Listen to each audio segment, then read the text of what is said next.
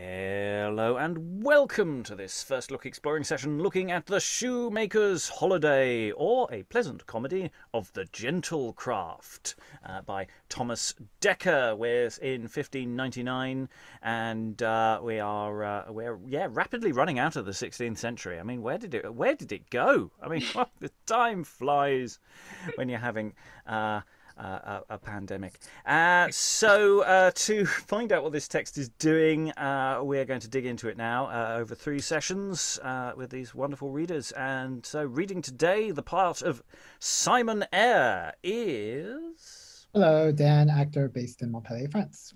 Reading Hodge is. Hello, I'm Lynn. I'm a college composition teacher. I live in the northwestern United States. Reading Lord Mayor and Dodger is. Hello, I'm Helen Good. I'm a historian and I'm currently in Hull. Uh, reading Firk is. Rachael, actor on the East Coast. What the Firk? Uh, reading Lovell and Warner is. Hi, I'm American. I'm slowly caffeinating. Or, well, recaffeinating. Very wise, very wise. I think I will do the same. Uh, reading the prologue, Margery Lacy Hands is. Aliki Chapple actor and translator in northwestern England. Reading some uh, introductory epistles uh, to all good fellows and Jane and Sybil is. Sarah Blake, actor, writer, and director based in Germany. And uh, reading Lincoln and Hammon is. Alan, who's had his chips in Suffolk. Uh, and I'm your host, Robert Crighton. I will be reading Skipper. I may read some other bits and bobs as well if I cannot redistribute them amongst the readers. We, you never know, we might have a bonus reader popping in as we go along. It's that kind of week.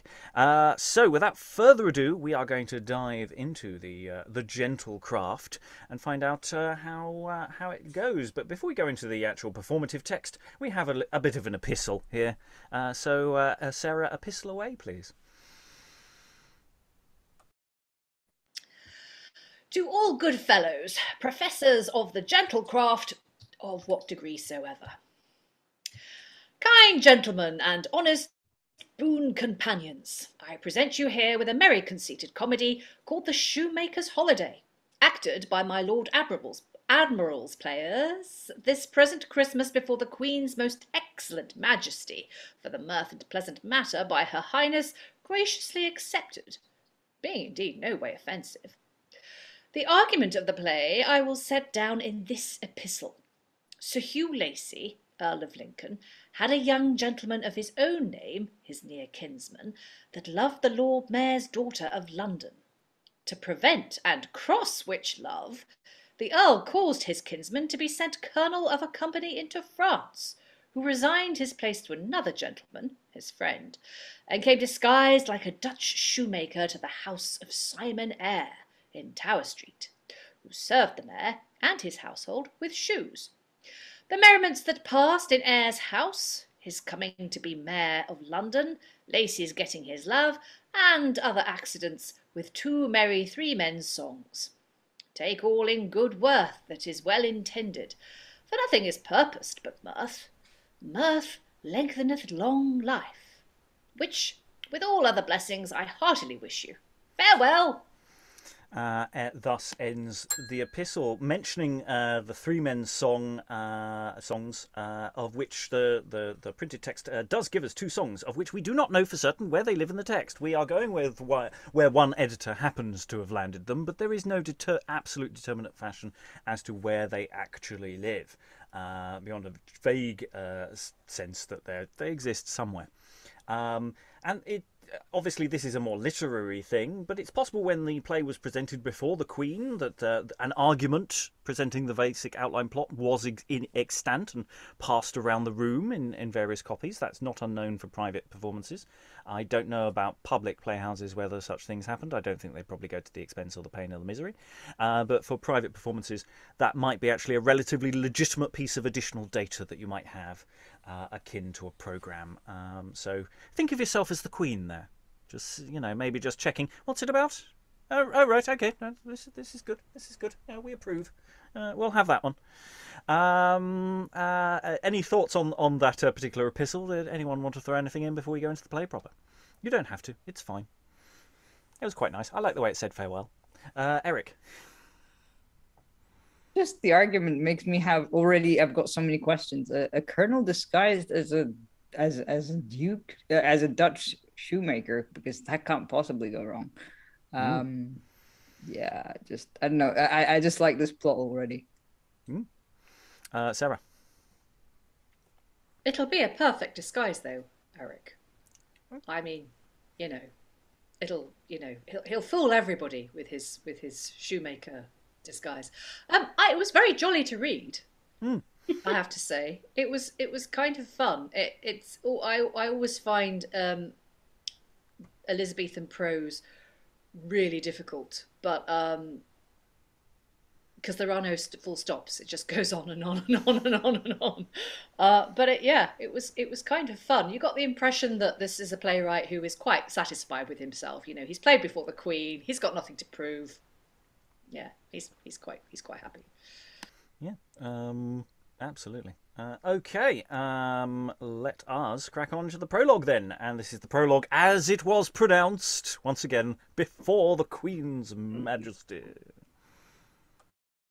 As wretches in a storm expecting day, with trembling hands and eyes cast up to heaven, make prayers the anchor of their conquered hopes, so we, dear goddess, wonder of all eyes, your meanest vassals, through mistrust and fear to sink into the bottom of disgrace by our imperfect pastimes, prostrate thus on bended knees, our sails of hope do strike dreading the bitter storms of your dislike. Since then, unhappy men, our hap is such that to ourselves no help can bring, but needs must perish if your saint like ears, locking the temple where all mercy sits, refuse the tribute of our begging tongues. Oh, grant, bright mirror of true chastity, from those life breathing stars, your sun like eyes, one gracious smile. For your celestial breath must send us life or sentence us to death. Sorry, I couldn't quite make you out there, Aliki. You you were so far up uh, uh, Eliza's arse there that you you were quite muffled. Um, that's not an all-purpose uh, prologue, is it? It's a very specific. You want to you want to do some arse licking, then that's the one to use. Yeah, right. Your Yeah. sun-like eyes. Right. Oh. Those life breathing stars, your sun like eyes. Mm. My Yeah. Yeah, laying it on thick, laying it on Yeah. quite thick there. Do we have a, wait, wait, what what what was the printing year of this? Like what's what's uh, Uh, I think it's probably just the year after. I think it's very tight on. Uh, 1600. which yeah. is which is I'm sorry. 1600 is the first one. yeah, Yeah, so so pretty much bang on. You know, a few months after Yeah. it appears. So she's like 66, 67 years old at this point. Mm. I, I don't think her uh, ability to accept flattery got, Oh, got, no, no, got no, less over time. That was if if anything the reverse, but it's just Uh, okay. Any any additional thoughts on that? Um, that very specific prologue that uh, I don't think uh, has that much utility. Uh, unless you have someone in the audience you really want to play that too. Uh, Eric. Yeah, I think it would be fun to have like sort of someone dressed as like if you were performing this, someone dressed as the queen that you could address that to, or even just like the the, the audience member that is worst dressed, uh, kind of thing. You just pinpoint like someone in the audience that you can play that to, and just sort of go, "You're, you know, whatever." I don't know. magnificent. You want to time it for latecomers, don't you? we have been awaiting you. Oh, you and your life-breathing stars, your sun-like eyes. Sit the f- down. On bended knee. Okay, yeah, okay. I'm thinking of learning that for latecomers. Okay, yeah, I like that. Um, uh, anyway, let's crack on with the play itself. Um, uh, it has been variously printed with different act uh, scene uh, layouts. So I'll give you the one that we've got in front of us and also just a running scene count. So, scene one, uh, or act one, scene one, enter the Lord Mayor and the Earl of Lincoln. My lord mayor, you have sundry times feasted myself and many courtiers more. Seldom or never can we be so kind to make requital of your courtesy. But leaving this, I hear my cousin Lacy is much affected to your daughter Rose. True, my good lord, and she loves him so well that I mislike her boldness in the chase. Why, my lord mayor, think you then ashamed to join a Lacy with an Oatley's name? Ah, too mean is my poor girl for his high birth. Poor citizens must not with courtiers wed, who will in silks and gay apparel spend more in one year that I am worth than I am worth by far. Therefore, your honour need not doubt my girl. Take heed, my lord, advise you what you do. A verier unthrift lives not in the world than is my cousin. I'll tell you what, it is now almost a year since he requested to travel countries for experience. I furnished him with coins, bills of exchange, letters of credit, men to wait on him, solicited my friends in Italy, well to respect him, but to see the end. Scantily journeyed halfway through Germany, but his all his coin was spent, his men cast off, his bills embezzled, and my jolly cuz, ashamed to show his bankrupt presence here, became a shoemaker in Wittenberg. Goodly signs for a gentleman of such descent. Now judge you the rest by this. Suppose your daughter have a thousand pound, it did consume me more in one half year and make him heir to all the wealth you have, one twelve months rioting will waste it all. And seek, my lord, some honest citizen to wed your daughter to. I thank your lordship. Well, Fox, I understand your subtlety.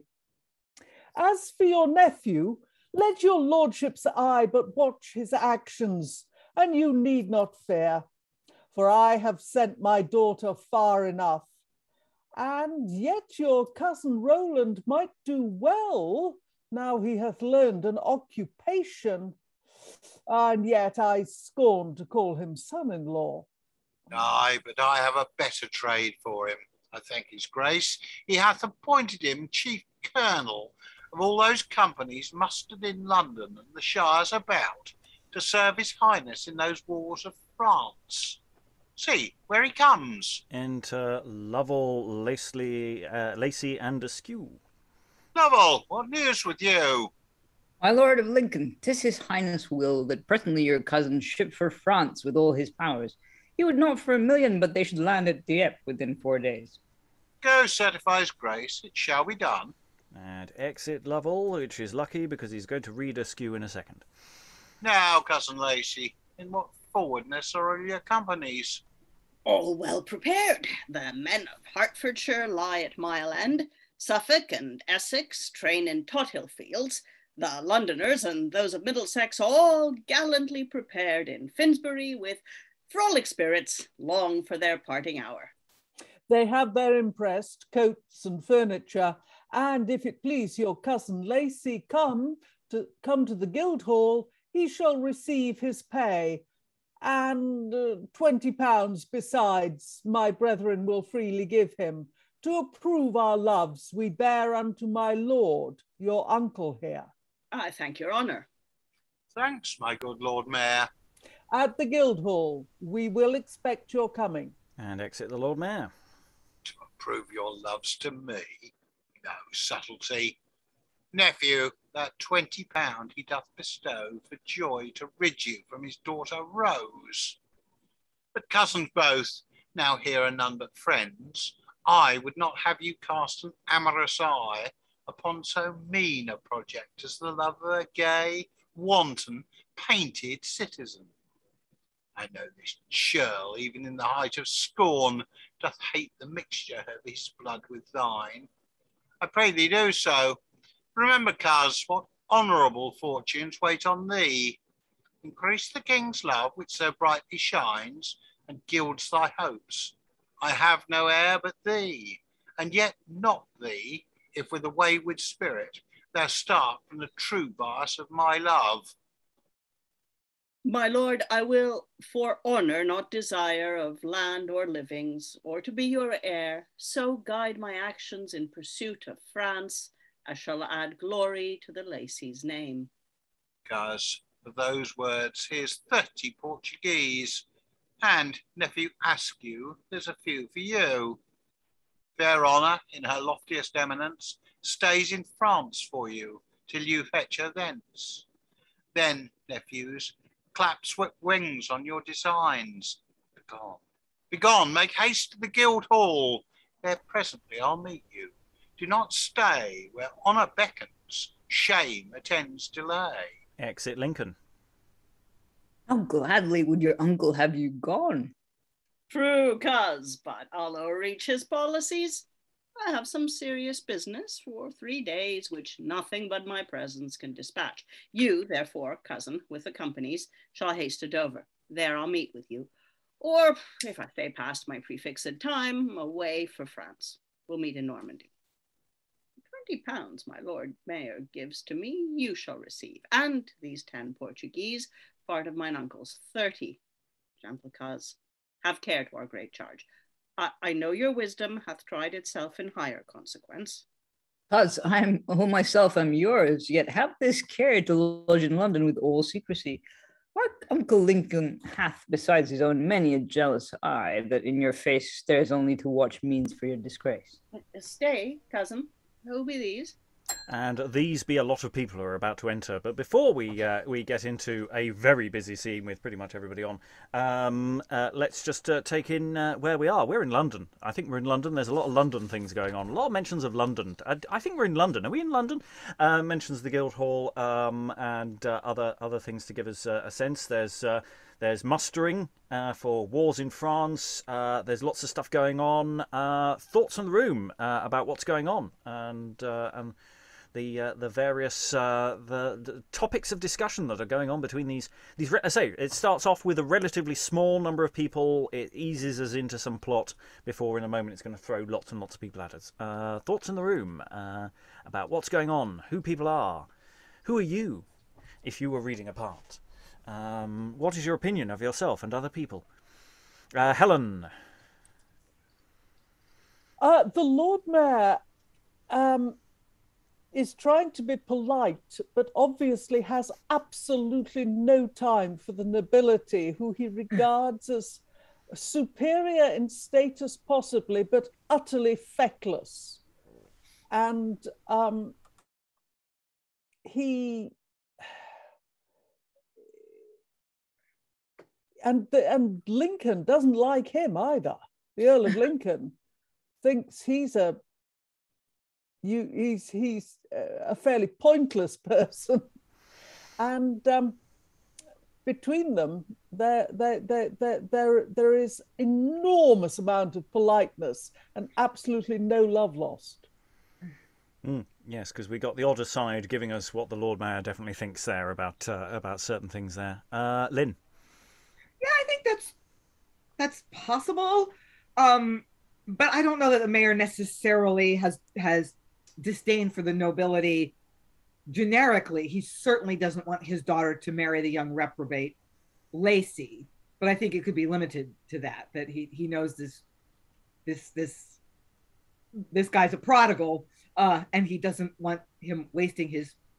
He, I'm sure the mayor thinks of it as his hard-earned money. Um, so yeah, I think there's a number of ways you can play it. They can, I think you could play it that these two old guys are basically on the same side. They don't want this match to happen. But yeah, you could, you could definitely, I think, mine some sort of tension between them, and and and, and, and sort of a, a, a class tension more generally. I I think you could do it, but I don't know that that's the only way you could do it. Well, he calls him a fox. His first aside says he's a fox. Foxes are not good. No, that's true. Mm, no, the no, early no, modern no, fox, no de- bad de- guy. No, no It's decent that. eating off a fox. Um, Yeah. uh, uh, other thoughts, uh, Eric? Uh, in terms of as an intro into the play, it reminds me a bit of the sort of kind of device that we had for the I can't remember which play what, what the play title was, but the Robin Hood play where you've got Skelton turning up. Um, it, it is that kind of device where you kind of have people that might have been known to the audience, sort of um, actually just standing up to speak their part. But I, I, obviously, this is a bit sort of out of time because they're talking about His Highness rather than Her Highness. So, yeah, um, and also kind of it made me think also of you know if you know not me of course which is um before this i'm guessing? Yeah uh, one of one of the problems with this play is um uh, the the the the it, it they, they don't really nail down precise time things uh, that, that that we, we will be able to absolutely narrow down precisely when all of the action of the play is happening. We've got an approximate period, and we have approximate idea which which wars. But you know, there, there are wars in France. Yeah, that's that's helpful. that, that, narrows down when this happens. Um, but we can discuss that future times. Uh, let's uh, carry on with the action. I think. Uh, let's get a bit more data because the scene hasn't ended, but a lot of people now enter. Enter Mar- uh, Simon Eyre, Margery, his wife, Hodge, Firk. Jane and Ralph with a pair of shoes. Ah, leave whining, leave whining. Oh, away with this whimpering, this puling, these blubbering tears, and, and these wet eyes. I'll get thy husband discharged. I want thee, sweet Jane. And go to, go to. Master, here be the captains. Peace, Hodge. Hushy, knave, hushed. Here be the cavaliers and the colonel's master. Ah, peace, Firk. Peace, my fine Firk. Stand by with your pishery pashery. Oh, away. I'm a man of the best presence. I'll speak to them, and they were popes, gentlemen, captains, colonels, commanders. brave men, brave leaders, may it please you, give me an audience. I am Simon Eyre, the mad shoemaker of Tower Street. This wench with the mealy mouth that will never tire is my wife, I can tell you. Here's Hodge, my man, and my foreman. Uh, here's Firk, my fine Ferking journeyman, uh, and this is Blubber Jane. All we come to be suitors for this honest Rafe. Keep him at home, and as I am a true shoemaker and a gentleman of the gentle craft, I spurs yourself, and I'll find you boots these seven years. Seven years, husband? Ah, peace, midriff, peace. I know what to do, peace. Truly, Master Cormorant, you shall do God good service to let Ralph and his wife stay together. She's a young, new married woman, if you take her husband away from her a night, you undo her. She may beg in the daytime, for he's as good a workman at a prick and an owl as any is in our trade. Oh, let him stay, else I shall be undone. Ay, truly, she shall be laid at one side like a pair of old shoes else, and be occupied for no use. Truly, my friends, it lies not in my power. The, the Londoners are pressed, paid, and set forth by the Lord Mayor. I cannot change a man. Why, then you were as good be a corporal as a colonel if you cannot discharge one good fellow. And I tell you true, I think you do more than you can answer to press a man within a year and a day of his marriage. Ah, well said, melancholy Hodge. Grand mercy, my fine foreman. Truly, gentlemen, it were ill done for such as you to stand so stiffly against a poor young wife, considering her case. She is new married. But but let that pass. I, I pray deal not roughly with her. Her husband is a young man, but newly entered. Uh, but let that pass. Ah, away with your pishery, pashery, your, your poles and your ediples. A peace, midriff. A silent Cicely Bumtrinket. Let your head speak. Yea, in the horns too, master. Too soon, my fine Firk, too soon. Peace, scoundrel. See you this man? Captains, you will not release him. Well, let him go. Here's a proper shot. Uh, let him vanish. Peace, Jane, dry up those tears. They'll make his powder dankish. Take him, brave man. Hector of Hack Troy was a hackney to him. Hercules and Termagant scoundrels. Uh, Prince Arthur's round table by the Lord of Ludgate never fed such a tall, such a dapper swordsman. Ah, by the life of Pharaoh, a brave, resolute swordsman. Peace, Jane, I said no more, man knaves. See, see, Hodge, how my master raves in commendation of Ralph. Rave, thou to go, by this hand if thou goest not. I'm glad, good Master Eyre, that it is my hap to meet so resolute a soldier. Trust me for your report and love to him. A small, a common slight regard shall not respect him. Where's thy name Rafe?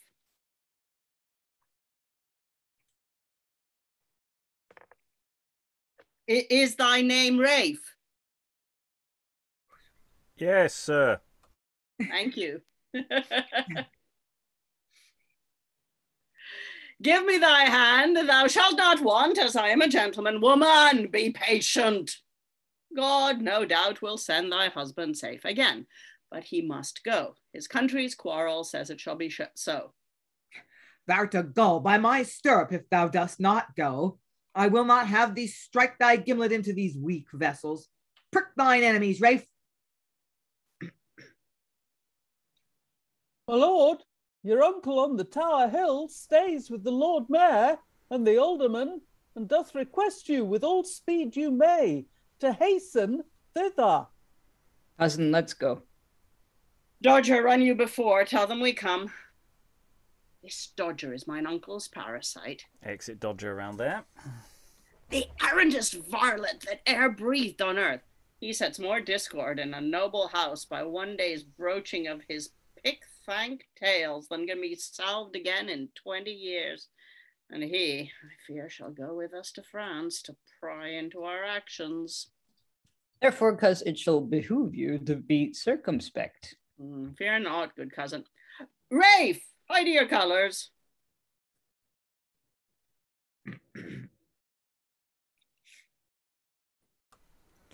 Uh, oh, uh, yeah, I, I must because there's no remedy. But, uh, G- gentle master and my loving dame, uh, as you have always been a friend to me, so in mine absence, think upon my wife. Alas, my Rafe. She cannot speak for weeping. Ah, ah, peace, you cracked goats, you, you mustard tokens. Tis quite not a brave soldier. Go thy ways, Rafe. I, I, you bid him go. Oh, what shall I do? When is he gone? Why? Be doing with me or my fellow Hodge? Be not idle. Ah, let me see thy hand, Jane. This fine hand, this white hand, these pretty fingers must spin, must must card, must work. Work, you bombass cotton candle queen. Work for your living with a pox to you. Hold thee, Rafe. Here's five sixpence for thee. Fight for the honor of the gentle craft, for the gentlemen shoemakers, the courageous cordwainers, the flowers of St. Martin's, the mad knaves of Bedlam, Fleet Street, Tower Street, and Whitechapel. Crack me the crowns of the French knaves, a pox on them. Crack them. Fight by the law of Ludgate. Oh, I'll fight my fly boy. Here, Rafe, here's three twopence. Two carry into France. The third shall wash our souls at parting, for sorrow is dry. For my sake, firk the balsam on cul. Rafe, I am heavy at parting, but here's a shilling for thee. God send thee to cram thy slops with French crowns and thy enemies' bellies with bullets. Oh, I thank you, master, and I thank you all. Now, now, gentle wife, my loving, lovely Jane, rich men at parting give their wives rich gifts, jewels and rings to grace their lily hands. Thou knowest our trade makes rings for women's heels. Here, take this pair of shoes, cut out by Hodge, stitched by my fellow Firk, seamed by myself, made up and pinked with letters for thy name. Wear them, my dear Jane, for thy husband's sake, and every morning when thou pullst them on, remember me, and pray for my return. Make much of them, for I have made them so, that I can know them from a thousand mo. And a drum sounds. Uh, enter the Lord Mayor, the Earl of Lincoln, Lacy Askew, Dodger, and soldiers. They pass over the stage. Rafe Ralph falls in amongst them. Firk and the rest cry, Farewell! etc. And so exeunt. And uh, yes, thus we uh, come to the end of the scene. With much craziness uh, going on there. Thoughts from the room. Um, from Eyre's orations uh, to the, the various interactions from various uh, peoples. Um, yes, I totally missed Rafe, uh, Ralph. Um, so um, yeah, that was that was a surprise for me, as it was for everybody else.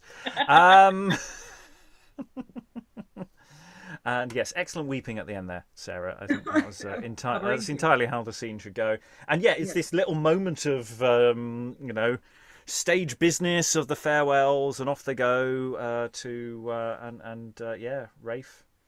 Will we ever see his like again? Who knows? We'll find out later. Uh, Aliki, thoughts? Okay, so on the one hand, we have a posh young man who's meant to go off to war, and he's not going to go, at least not right yet. But Yeah. Rafe doesn't have that choice. He has to go, will he, nil he. um, I, I love the, they are but newly married, less than a year and a day.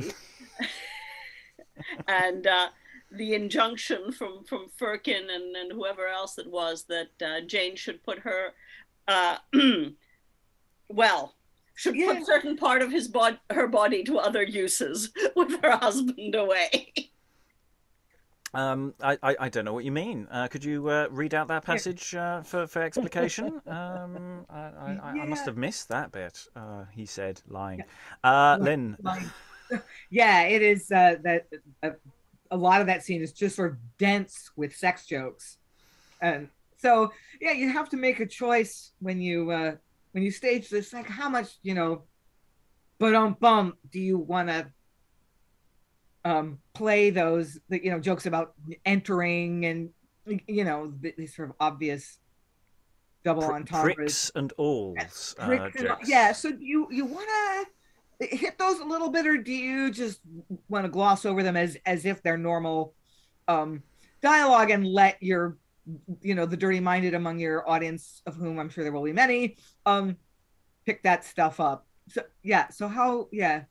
Yeah, because is it sort of diegetic joking or is it uh, audience to laugh joking? Because it's like Firk is Firk just doing terrible sex jokes and everyone else is just ignoring him, um, or is it designed to get laughs from an audience, or is it sort of somewhere in between? Because I think I think you're right. There is a trap here that you could fall into doing. Let's Yeah. let's demonstrate every joke with physical actions yeah and the audience to lose the will to live. Because oh, because there's nothing uh, less funny than hilarity. Yeah Um, but yeah, I, I think they're really good questions about tone of uh, of where, where do you place some of these things because um, some of it is very big and bold. I think uh, Sarah's choices with Jane, are, I, I think, are Yeah. appropriate within there. Um, But then other things are, are are not. And Eyre is so wonderfully over the top in many ways. But he has such a clearly defined relationship with his wife as well. I really like that. uh, Alan, I think, was waving earlier than Helen.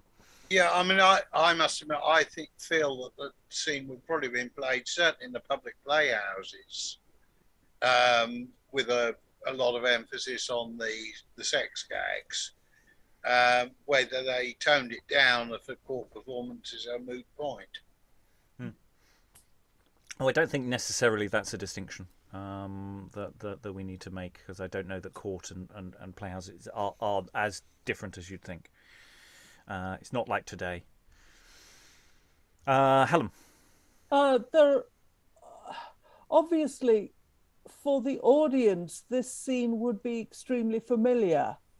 There were levies going off to Ireland all the time, and they were pressed men. Hmm. They weren't volunteers. And Mm. remarkably few of them came back in one Yeah. piece. Mm. Um, Yeah. If they came back at all. yeah Um, Yeah. So you know, we we are talking about about about something. Um, whenever this play happens to be set, we're talking about something within the experience. Also, the the pl- the the problem of uh, of Rafe's wife that she's now going to have to her her nice hands are going to have are going to go. She's going to have to work. Um, or beg or sell herself. But um, the uh, I Eyre so far does nothing much. He reminds me very much of Hobson in the second part of "You Know Not Me, You Know Nobody." Um, full of enthusiasm and words, endless words. yeah yeah and and always telling everybody else shh, shh, shh, shh, i'm talking you know. Yes. Mm. But I mean, calling your wife bum trinket, I think is is is beyond the pale. Well, at least not in public. Um, or, or it may be, it may have been her maiden name. I mean, that may have been what she her maiden name, Cicely Bum Trinket. No, because she's Margery. Oh, she is. You're right. She's Margery. Yeah. Margery So, Bum so Trinket. it's a, Um, so it's a gratuitous insult. There's a name to conjure with, however. I do I, I like that very much. Um, but I, I, I just I wanted to uh, uh, hone in on Helen's point about you know that there are stakes to this scene. For all the jollity, the jollity actually maybe is a bit forced because they're they're trying to perhaps levy humour out of a situation that isn't necessarily that funny. So there, yeah, there are there are potential levels here. Um, uh, Rachael's waving than Eric, I think. Uh, I could have imagined that. No, no from Eric. I'll go to Eric, and then if Rachael changes. I was just going to mention the Star Chamber case that we read, where uh, we had the whole sort of, you know, officers officers being bribed and sort of going, "No, I didn't take the money. They just gave it to me. I, I there, it wasn't, you know, uh, it wasn't that they were doing it for, you know, to be discharged, to be able to go and do other things." Um, which made me think of this scene as well. It's just kind of like, well, they didn't do that, obviously, on stage, but they could have done. uh, but obviously, they, they, uh, Rafe can't afford that. Um, he just kind of wants. He, he has to go and do these sort of things to, presumably, to earn a wage. I, I, I don't know. There's no real explanation why he has to go off and fight. He's is there? pressed. Yeah, yeah. Scripted. Yeah, he has no choice. It's Um, the law. Yeah. Right. Anyway, um, uh, Rachael, did you want to step in, or uh, are we good? Um, Uh, I was just gonna say, uh, to me, this the the uh, from the Knight of the Burning Pestle, uh, where the the citizen and his wife. This is what the this reminds me of so much, just because it seems like uh, the way the play within a play was going. Um, and I think we have another Rafe, so I don't know. there, there's something funny about that. Just the it's a little nonsensical with the the um, craftsman coming in, you know, Yeah, and it's the craftsman's play. And uh, about this time, we've also got uh, you know the wonderful prentices of London uh, in Edward IV, and uh, you know the, the, the, there is something building here about the, the the city that is coming up, which of course, Knight of the Burning Pestle will will pull upon uh, later on because it was a much later play. Uh, Aliki.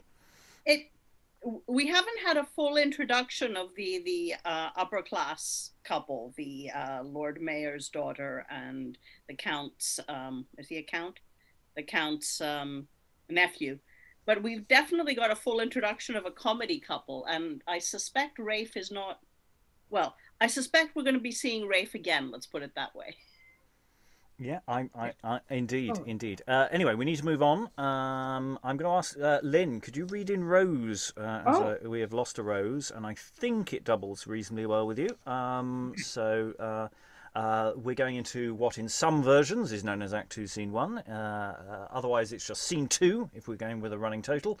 Uh, and enter Rose alone, making a garland. Here, sit thou down upon this flowery bank and make a garland for thy Lacy's head. These pinks, these roses, and these violets, these blushing gillyflowers, these marigolds, and fair embroidery of the- his coronet, carry not half such beauty in their cheeks as the sweet countenance of my Lacy doth. Oh, my unkind father, oh, my stars, why lowered you so at my nativity to make me love? yet live robbed of my love. Here, as a thief, I am imprisoned for my dear Lacy's sake within those walls, which by my father's cost were builded up for better purpose. Here must I languish for him that doth as much lament, I know, mine absence, as for him I pine in woe. Enter Sybil. Good morrow, young mistress. I am sure you make that garland for me. Against I shall be Lady of the Harvest. Sybil, what news at London? None but good. My Lord Mayor, your father, and Master Philpot, your uncle, and Master Scott, your cousin, and Mistress Frigbottom by Doctor's Commons do all, by my troth, send you most hearty commendations. Did Lacy send kind greetings to his love? Oh, yes, out of cry by my troth. I scant knew him. Here I wore a scarf, and here a scarf, here a bunch of feathers, and here precious stones and jewels, and a pair of garters. Oh, monstrous! Like one of our yellow silk curtains at home here in Old Ford House, here in Master Bellymount's chamber. I stood at our door in Cornhill, looked at him, he at me. Indeed spake to him, but he not to me, not a word. Marry, go up, thought I, with a wunion. He passed by me as proud Marry foe! Are you grown humorous? thought I, and so shut the door and in I came. Oh, Sybil, how dost thou my Lacy, wrong? My Roland is as gentle as a lamb. No dove was ever half so mild as he. Mild? Yea, as a bushel of stamped crabs. He looked upon me as sour as verjuice. Go thy ways, thought I, thou mayst be much in my gaskins, but nothing in my nether stocks. This is your fault, mistress, to love him that loves not you. He thinks scorn to do as he's done to. But if I were you, I'd cry, Go by, Hieronymo, go by.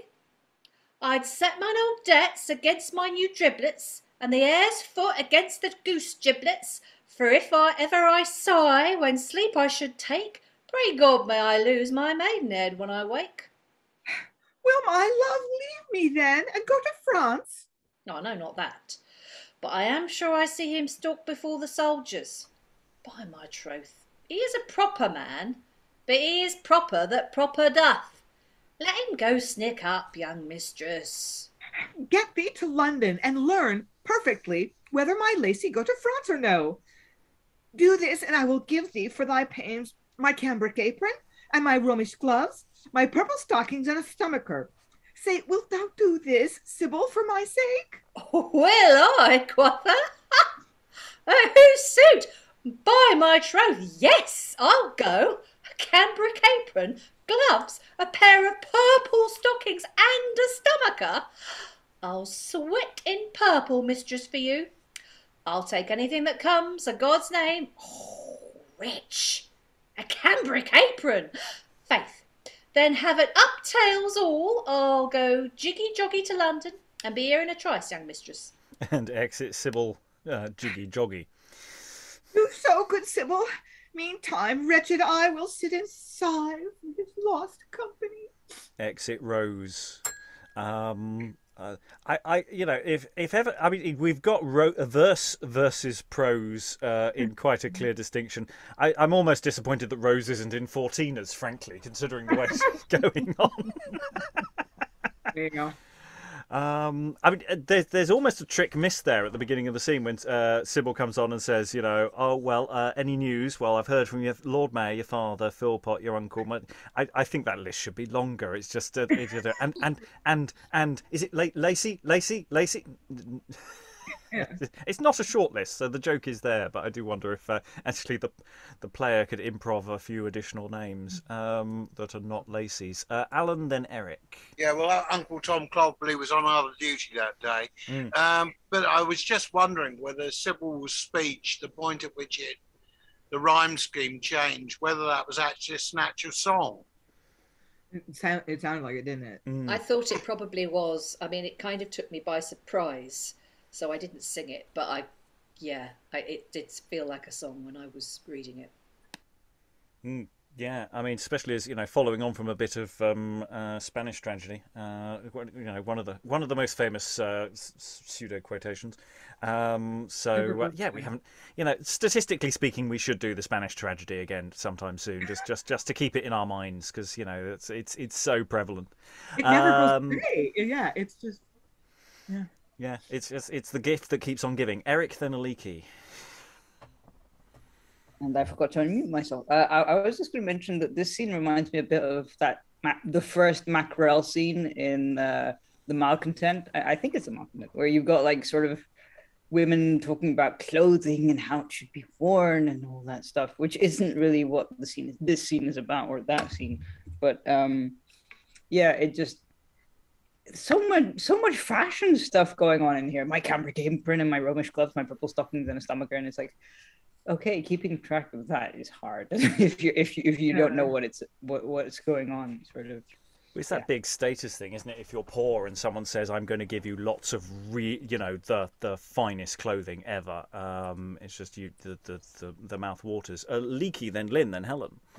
Uh, I had raised my hand originally to ask about the song, uh, just as Alan did, but I'm going to note instead that the opposite of mild is sour. Verjuice is made from unripe grapes or crab apples. It's a very sour juice that people used uh, where we now use vinegar pretty much. Um, so that was interesting. Mild must mean sweet.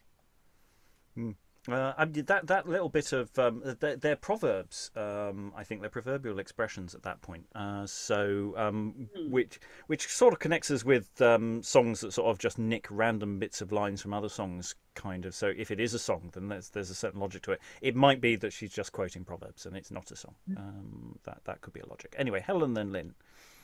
Uh, yes, I, I think that there's not only the women's clothing, the cambric apron and stuff. She keeps on. I think there has to be a pause while Sybil, um, where where Rose wait, e- expects Sybil to say yes, and Sybil waits after each item to see if there's any more coming. Um, but that we've also got a good description of Lacy um, that he looks like one of their yellow silk curtains. He's got precious stones and jewels and a pair of garters and scarves and feathers and all sorts of stuff. And I think that I don't know exactly how right that is, but we've just seen Lacy going off to war. He may be rather well got up. Um, and he we could even have Sybil in the previous scene so that he passes her by Mm. And she leaves going the opposite direction to everybody else who leaves. Yeah, no, I I I I I, I, I like that. Uh, Lynn then Sarah then Eric. Yeah, I I was wasn't going to talk about this, but just in response to Aliki's very nice sort of micro observation there, I I mean I do think that that's a pair of opposites that the the, the play is invoking. Sweet and sour, gentle and sour. The French word doux or douce um, means sweet, literally like sugar, or sweet music, or gentle, or soft. It has that range of of meaning. So yeah, I, I do think there's an opposition between sweet and sour, gentle and and bitter, gentle and sharp. Um, in the in in the wordplay there, and, and I was going to respond to Eric. Yeah, all this like purple stockings and and a cambric apron. A lot of people think, and I and I think that clothes were really important in this period, that as markers of status, and the, and the fact that uh, there's the beginning of a kind of economic shift from um, agriculture to trade, and that that economic categories were not as stable as they had been, and upward mobility was a was more possible than before and cause of anxiety in the upper classes. So yeah, dress is really important. It comes up again and again in early modern drama And expensive. Mhm. because it's so labor intensive that Mhm. before the industrial revolution um yeah and, Because and- it's it's it's not like saying I'm just going to give you some clothes. The modern equivalent would be I'm going to give you some haute couture. This is going to be a one of a kind piece that is going to be ridiculously impossible to get. Yeah. Um, and you know the idea of Sybil actually wearing it out may may go horribly wrong uh, in a class uh, uh, kind of way. Uh, Sarah. Yeah, I also wanted to um, comment on the on the clothing here and, and what Eric and, and Helen said especially, uh, and what Helen said about the fact that maybe she says, you know, I'll give you my cambric apron and then pauses. Because I do, uh, if you look at what she's got there, she's got a cambric apron, so like a, a cotton apron, and then Romish gloves, which I assume are like Italian leather. Um, then she's got purple stockings, you know, fantastically expensive and rare purple dye, and then a stomacher, you know, which which you know quite often stomachers were embroidered and like you know beautifully uh, decorated. So so this list gets more and more expensive and exclusive the the more it goes on. So there's definitely that that could be that thing of like, oh, I'll give you my apron, uh, and my leather gloves, uh, and my purple stockings, uh, and a uh, stomach. and- um, But what is really interesting is is that the thing that she talks about when when, when Sybil's going over the list, the thing that she comes back to is like, oh, Rich, a cambric apron. It's like the the the. The least, the least exciting thing on the list is the thing that she's actually really super excited about. So I thought that was quite entertaining. Uh, Eric, I think yes. Well, I was going to say that it's interesting how that is the the sort of because there is that whole thing about the yellow silk curtains at home here in our, our old Ford house, which I was I was trying to work out what was going on in that sort of um, you know how many scarves is this guy wearing?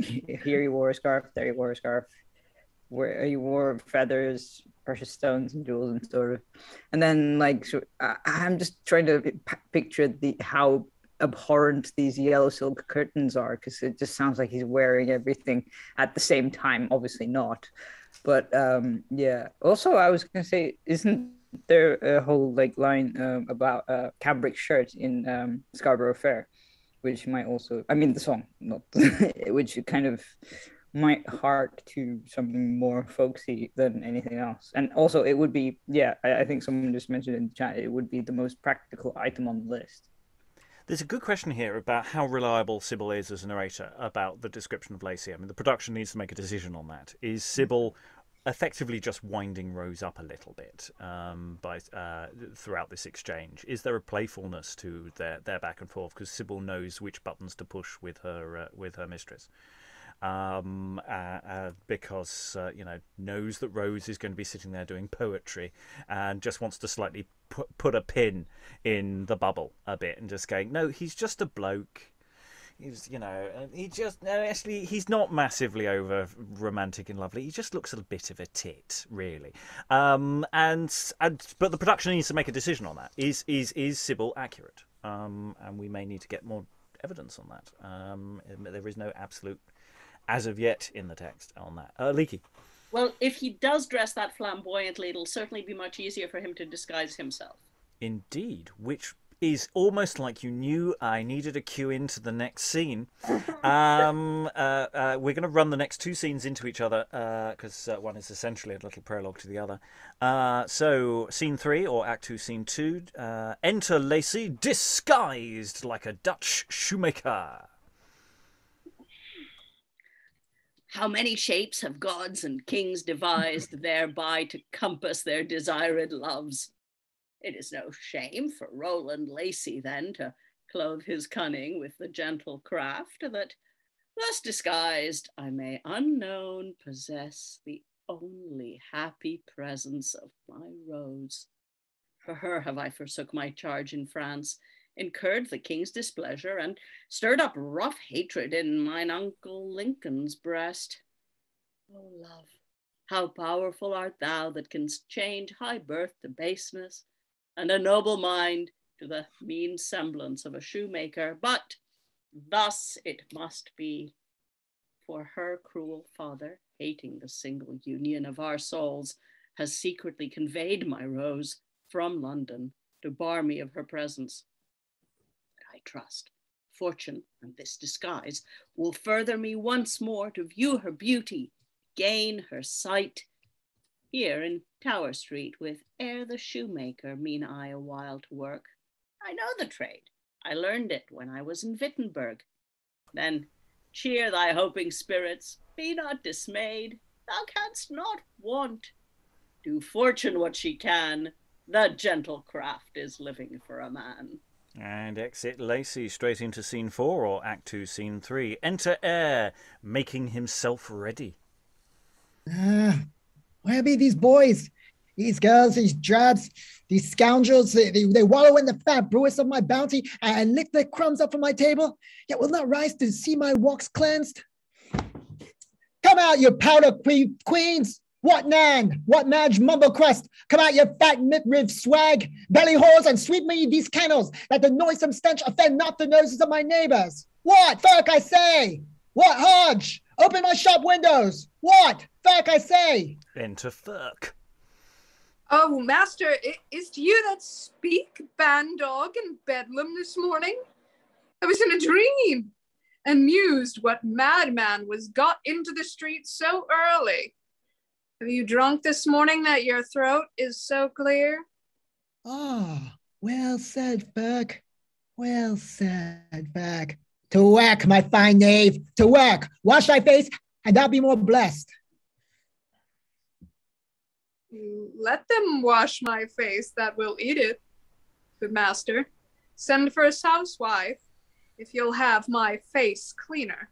Enter Away, Slavin, Hodge. avaunt, scoundrel. Ah, Gamora Hodge, Gamora, my fine foreman. Oh, Master, good morrow. You're an early stir. Here's a fair morning. A good morrow, Firk. Oh, could have slept this hour. Here's a brave day towards. Oh, haste to work, my fine foreman, haste to work. Master, I am dry as dust to hear my fellow Roger talk of fair weather. Let us pray for good leather, and let clowns and ploughboys and those that work in the fields pray for braver days. We work in a dry shop. What care I if it rain? And enter Margery to really mess up my doubling. Ah, how now, Dame Margery? Can you see to her eyes? Hey, trip and go. Come up, come up, you drabs your maids. Seen to right, I hope. Tis time enough. Tis early enough for any woman to be seen abroad. I marvel how many wives in Tower Street are up so soon.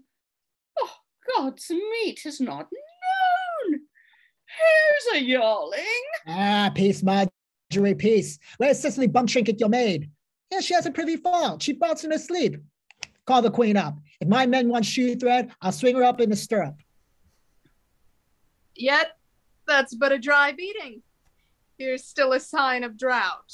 Enter Lacy, disguised, singing. There was en born van Gelderland, frolic Zibian.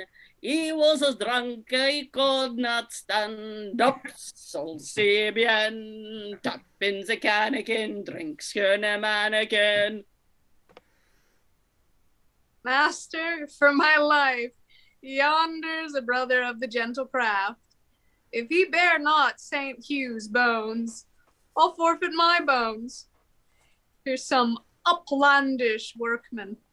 Hire him, good master, that I may learn some gibble gabble. Twill make us work the faster. Ah, peace, Firk. A hard world.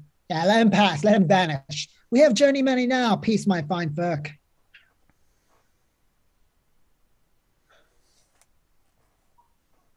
And swapping hats back to be Margery again. Oh, sorry. Um, No, it's my bad. nay, nay, your best follow your man's counsel. You shall see what'll come on it. We have not men now, but we must entertain every butterbox. But let that pass. Dame, for God, if my master follow your counsel, he'll consume little beef. He shall be glad of men, and he can catch them. Aye, that he shall. For God, a proper man, and I warrant a fine workman. Master, farewell. Dame, adieu. If such a man as he cannot find work, Hodge is not for you. And Hodge offers to go. Mm. Stay, my fine Hodge.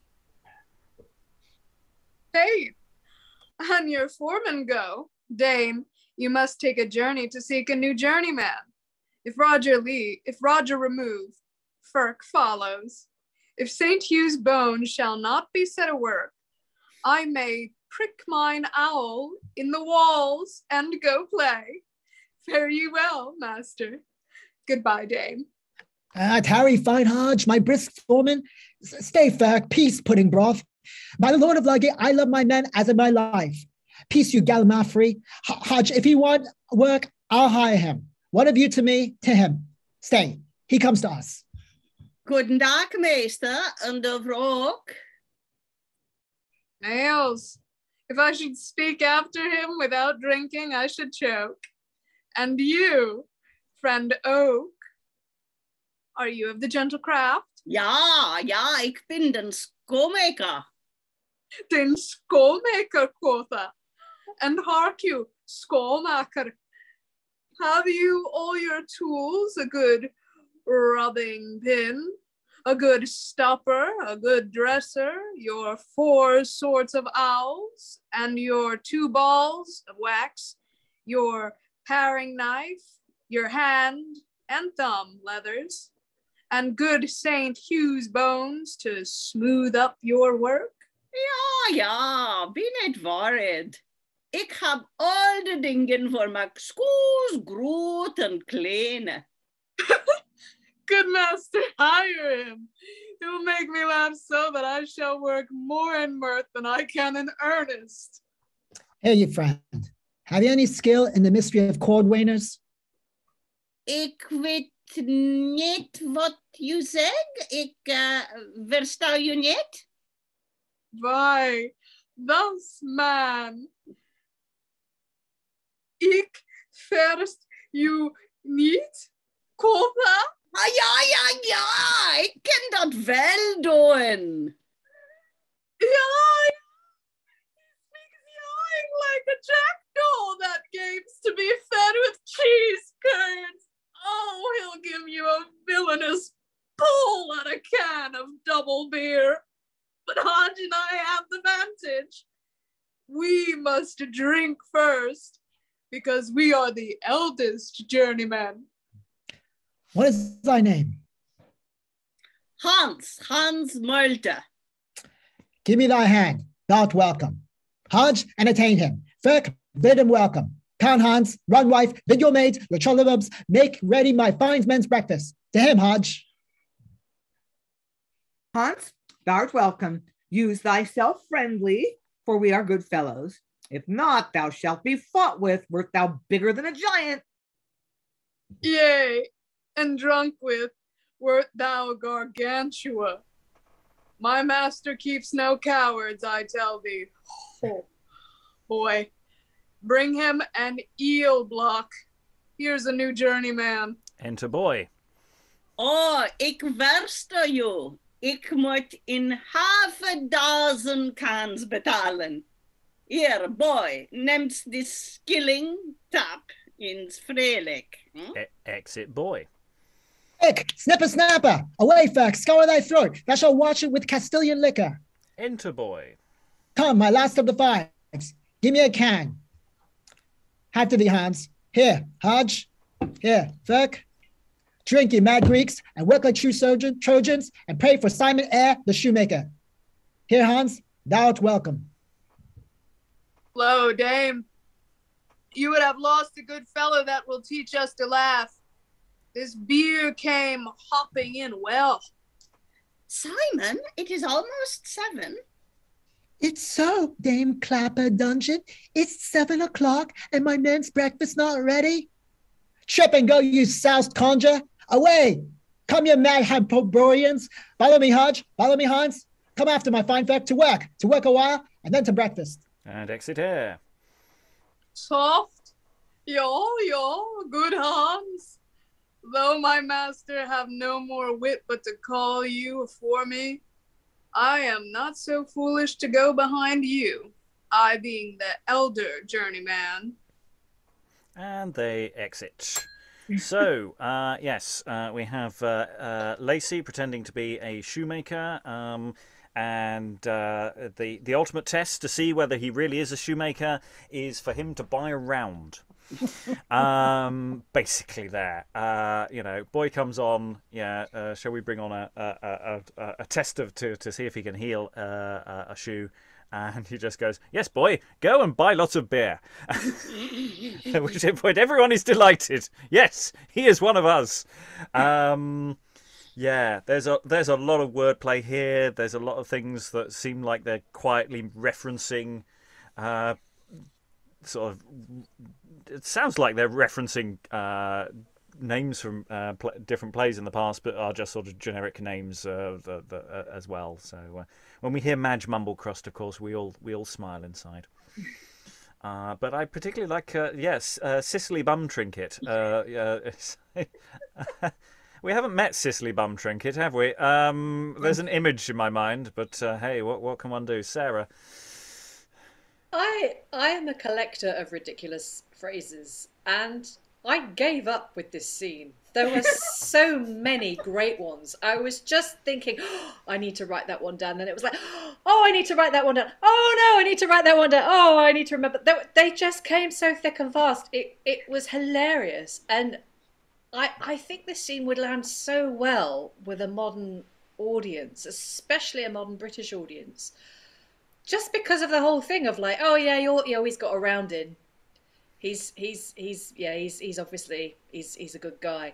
Um it's just so ridiculous. Um but but and and there's kind of like a kind of uh obviously a bit of casual xenophobia with the yeah. with the with the sort of fake dutch dialect. But it, i don't know. I can just that would play probably very well to a british audience as well. Who knows? But i it's sort of undercut because he's not. He, he's he's pretending to be Dutch, and therefore, exactly. so, so the, the, the, the, comic confusion sort of doesn't have a a, a nasty target. Exactly, because it's like it's uh, it's like a layer on a layer, and it, I I don't know. I just thought that was a really fun scene, and I also like the fact that the um the the really really funny um, lines and phrases they weren't all in one mouth because you know like Eyre is obviously uh, an extraordinary uh, good character to play, I would imagine.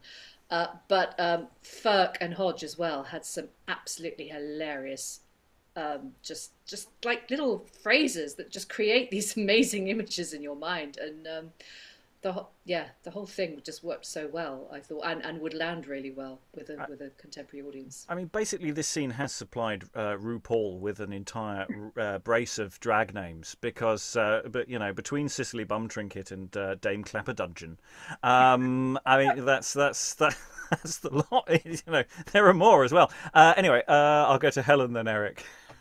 Um, what struck me very much was uh, the the power dynamics of of the workshop, because um, Eyre says no, no, I don't need another journeyman. Don't want him. Let him pass, and uh, both Roger, otherwise known as Hodge, and uh, Firk say, no, we want him. Okay, we're off. Get yourself some more um, yeah. journeyman. Yeah. And at yeah. which point he says, "Oh, sugar, all right, uh, all right, all right, but stay." And and I mean, the, obviously, this is far more mobility of labour. I mean, if they were apprentices, obviously they couldn't do it, but as journeymen, they they seem pretty certain that their skills will get them a job wherever they want to go. Hmm. Um, I mean, that is a very interesting isn't it? Mm. Say I with my social history hat on. Yeah, yeah. Mm. Uh, like that. Uh, Eric, then Lynn, then Alan. Yeah, I, I, was just enjoying the sort of small puns, like you know, this beer came hopping in well, and it's like, ah, see, I'm funny. No, it, it's just sort of, it, it is that thing of if you pile on the sort of laughs, how it, it, it's gonna hurt the audience, sort of. I mean, you know, in in, in the sides from all the laughing, uh, by by the end of the scene, but also it's kind of do you play it straight? Do you sort of I mean obviously how how do you treat the scene? Because it's kind of I mean, okay, yeah, just kind of Lacy is overdoing it, then Eyre is overdoing it, and then Firk is just like juggling everything, trying to get a drink and not have to work basically. Yeah, I, I, I think there's a real. You know, obviously, we want the audience to laugh, but I do think there is a trap of going too broad with some of this um, because it, it, it I, I, I, there is a danger there. Uh, Lynn, then Alan, then Sarah, then Rachael. Yeah, I, I think Helen's observation is super interesting because I'm also interested in in that sort of economic and, and social situation. But in this scene, it's it's almost like there's a line missing somewhere. Lacy comes in singing or or or something in in Dutch. He doesn't actually seem to say, "Hi, I'm from the Netherlands and I know how to make shoes and I'm looking for work." It's like the the foreman and the the journeyman say, "Oh, look, let's hire that guy. He's he looks like he'd be a good worker." And Marge is on board with that. You know, it's they're all like, "Oh, let's give him a job," without him even asking that I noticed. And then, of course, the miserly CEO says, "No, no, I, you, guys just have to do." Yeah, I, I, I have plenty of employees. I mean, it's that that's the economic dynamic even now that you try to to hire as few employees as possible to do as much work as possible. Um, but the but the employees in their their sort of proto labor union said, "Hire this guy or we quit." Um, uh, but but Lacy never says he wants a, a job until further into the conversation. Oh yeah, I, I'm a I, I think Aliki's got a response to that. Okay, yeah, okay. I think he does, and I completely understand why you couldn't get it through my my thick attempt to read what this dialogue is written like. But I suspect "ende juvro ok" is "I am looking for work." Oh, I think I, I, I, I it, it- it's his first line after he comes in. Guten Tag, Meester. "Ende juvro ok." Mm, Do you have yes. work? Yes, Oh, yes, he does. He does. Uh, yeah, I, mean, I I think the joke is that he comes in singing about drinking, uh, and they immediately go, "Ah, he's a shoemaker."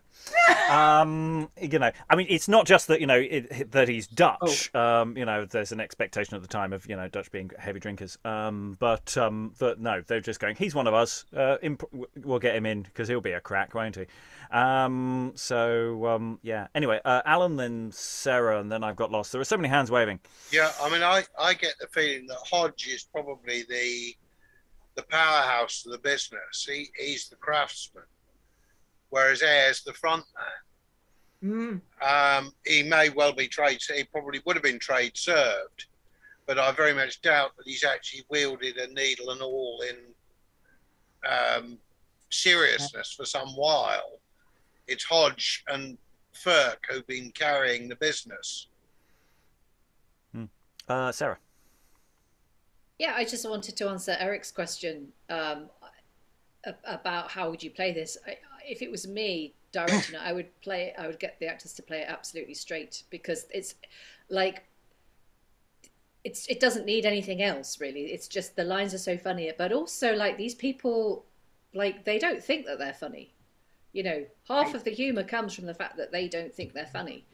Um, you know, Eyre Eyre is. I mean, he does call himself mad early, early on, but like, yeah, he's just who he is, and Hodge is who he is, and Firk is who he is, and and and the like, humor t- tends to be more funny when people when the people delivering it uh, don't think it is. If that makes I mean, sense. they are delivering jokes, but it's banter. It's But, not yeah, to the audience get a laugh joke. Exactly. It's like it's it's it's the kind of it's the stuff that they probably do between them every day, and it's Yeah. just like And, and, and yeah, every day really, really it's fast. it's and- the same joke every day as well. In Yeah. fact, if you're with them more for more scenes, you go, okay, we're a bit bored now of your Yeah, of your badinage. it's it's just like it's just who they are, and it's just this kind of thing that they have. So you'd want to do it just really fast and just because honestly there are so many funny lines. If you if you if you played every one, also it would just take forever. Yeah. You know, the the play would just take. We are not at home to Mr. Gaffor. We are only ho- we are only looking for titters, a stable level of titters. That's what we're aiming for. Um, yeah, absolutely. And and you're right. If you play for everything, then it slows down and it becomes incredibly painful. Um, and I think Helen's point about the the social dynamic here that's going on.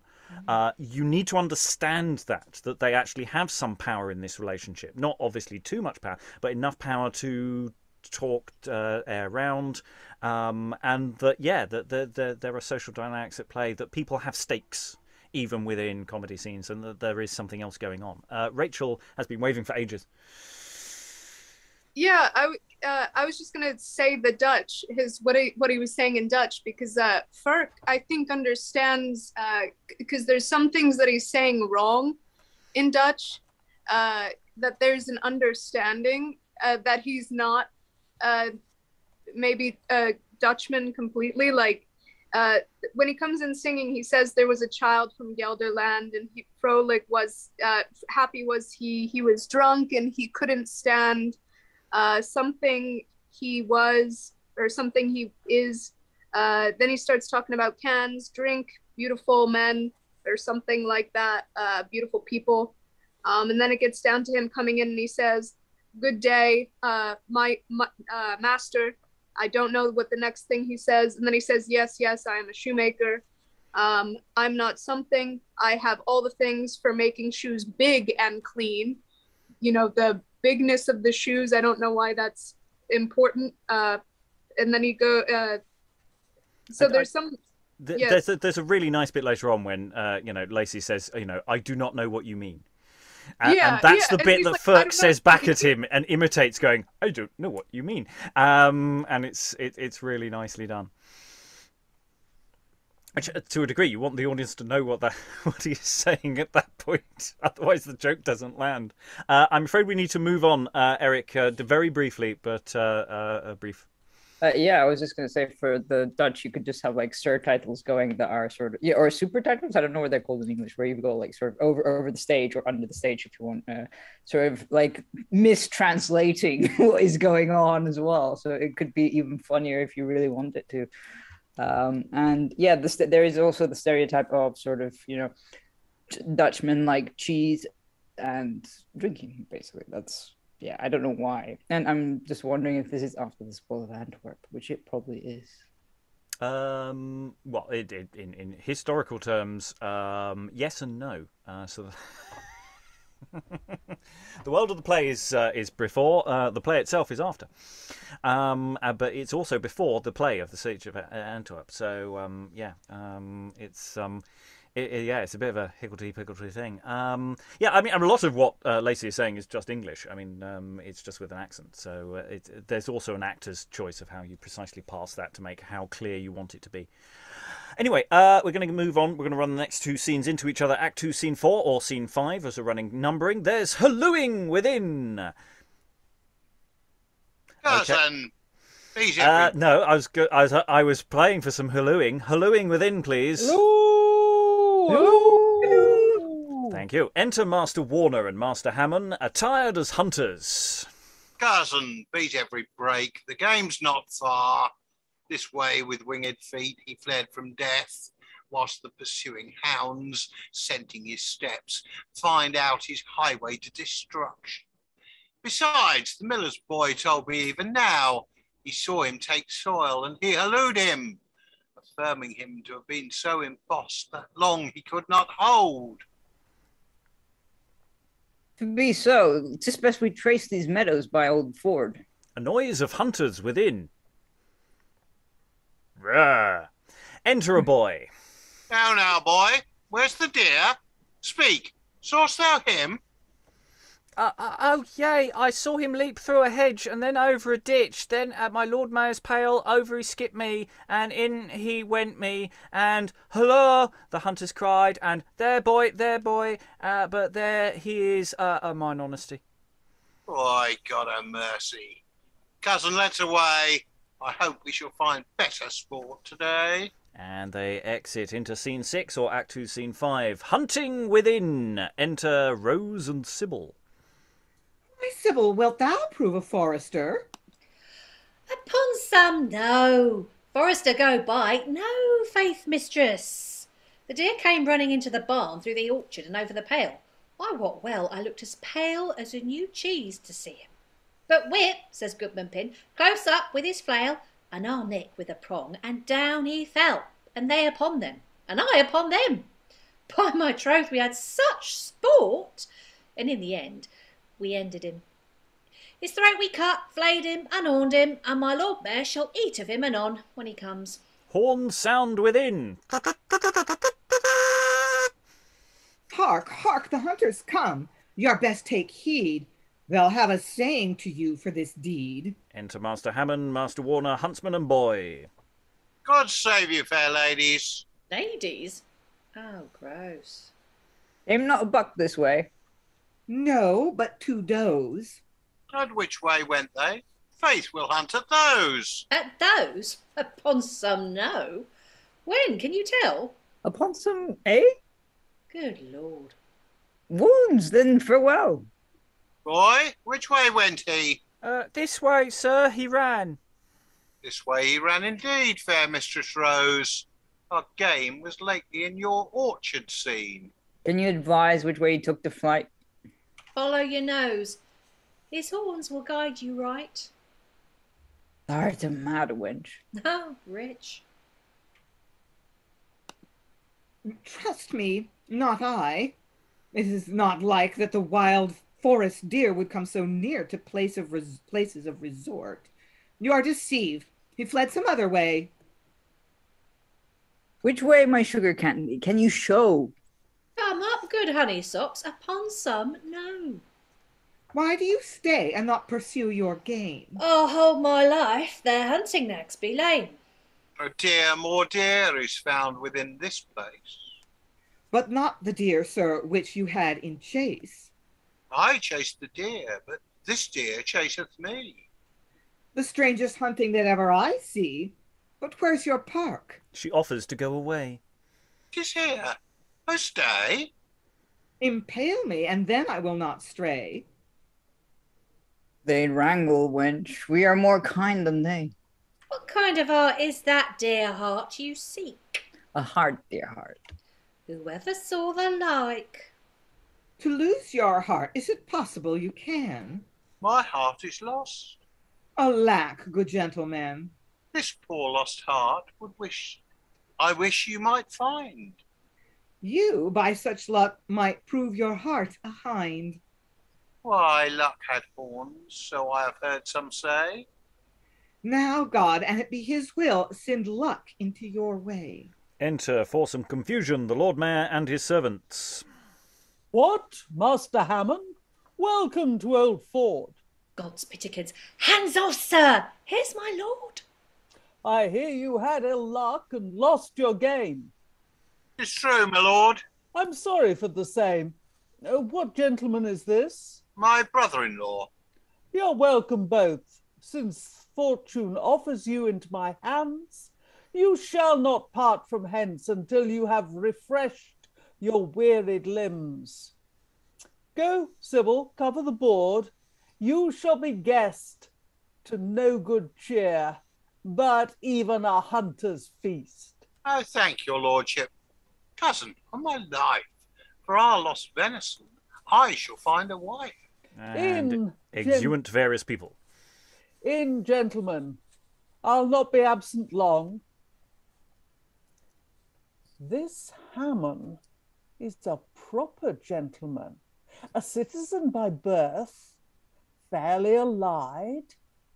How fit an husband were he for my girl. Well, I will in and do the best I can to match my daughter to this gentleman. And exit the Lord Mayor. So yes, we have a, a, a sort of wooing-y scene uh, with uh, Rose involved. In which case, we, we get different uh, verse verse play. We suddenly get rhyming. we get all these shared lines. Uh, we, yeah, it's um, it's doing it's doing a very interesting job of work. Is the the, the language of this scene. Um, and yeah, and uh, and and hunting, and yeah, we've we've definitely moved in a different direction here, and different things are going on. Uh, thoughts from the room about um, game lame place chase. Um, I mean, it's it's sort of very obviously cheesy in so many ways. Uh, Eric, Yeah, when the scene started, uh, with uh, I thought it was going to go in the direction of you know sort of the uh, Mer- hundred merry tales with the Welshman uh, stealing the pouch from the highwayman instead of the deer, instead of killing the deer, um, and it just kind of yeah, it, it, went in the direction that I did not expect, uh, but also a direction that I kind of did expect, which kind of disappointed me in a way. Yeah. Uh, well, I have to say, I did find Sybil's speech actually moderately disturbing. Actually, Sybil coming. Oh yeah, we uh, ha- have you never uh, dealt with a deer before? Uh, th- this is the reality of hunting. Um, I, I'm a dab hand at all this. Uh, whereas again, Rose going highfalutin poetry, Sybil, Sybil, and then you cut, you stab it, and you cut it out, and you and you you know uh, flay it. Um, you know, a leaky. I mean, I think she'll make Hammon a wonderful wife. Yeah. No, it's Warner she's after. Isn't Warner? Mm. I thought it was Hammon who was uh, flirting with her so ponderously. No, No, think he's with Rose. Oh, Ha- he's with Ha- Rose. Hammon is gone with a bit of posh.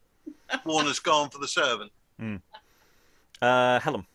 Hammon, I, I mean, coming at it cold, Hammon struck me as being unspeakably awful when you you sidle up to a young lady and say and call her my sugar candy.